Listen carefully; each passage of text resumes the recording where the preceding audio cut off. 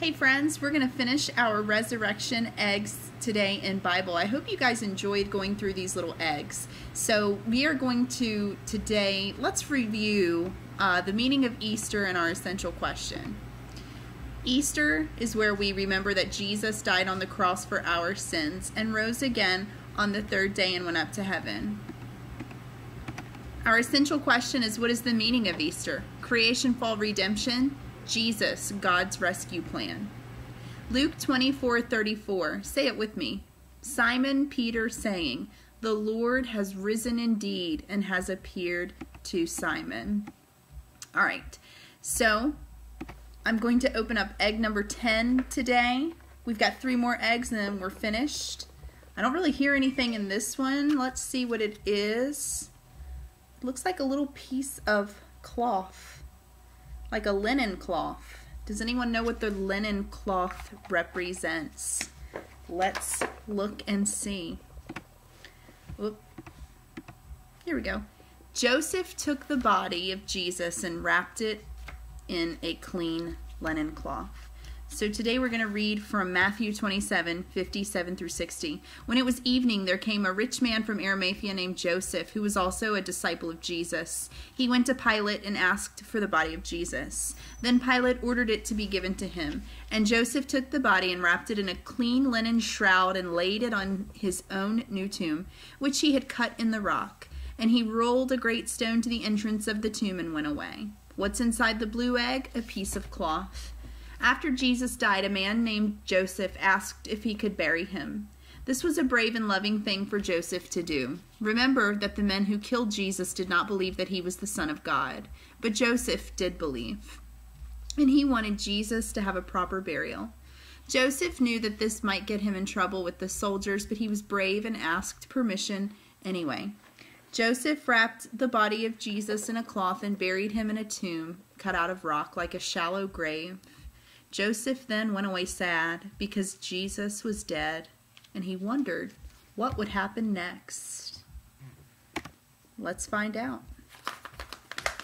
Egg number 11 has something hard inside of it. Let's see. Oh. It's a stone. Oop, I dropped the stone. Um, let's read and find out about the stone. The stone was rolled away. And I'm going to read to you from, let me get, from Matthew 28, 2 through 4. And, and behold, there was a great earthquake, for an angel of the Lord descended from heaven and came back and rolled away the stone and sat on it. His appearance was like lightning, and his clothing white as snow. And for fear of the guards trembled, and for fear of him the guards trembled and became like dead men. Matthew 28, 2 3 4. What's inside the pink egg? A stone. The stone that was rolled in front of Jesus' tomb was much bigger than the stone in the egg. It was as big as a door and probably weighed more than a car. After Jesus was buried, special soldiers were assigned to stand guard at the tomb, but these men were no match for God's angel. It took just one angel to roll the stone away.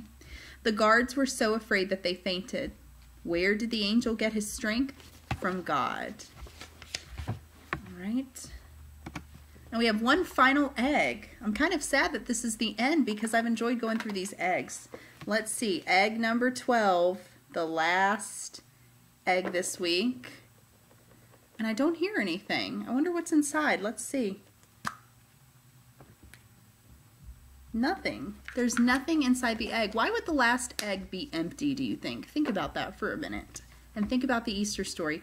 Why would the egg be empty? Let's read and find out. The empty egg, the tomb was empty. Jesus is alive. Matthew 28, 5 through 6. But the angel said to the women, Do not be afraid, for I know that you seek Jesus who was crucified. He is not here, for he has risen, as he said. Come, See the place where he lay. Look inside the white egg. It's empty. Are you surprised? When two women came to the tomb of Jesus, they were surprised too.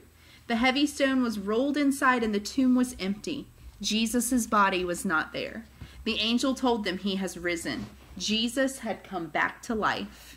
This was the promise Jesus had made to his disciples at their special dinner just a few days before that he would die, but would come back to life to show those who believed in him that they could live forever too.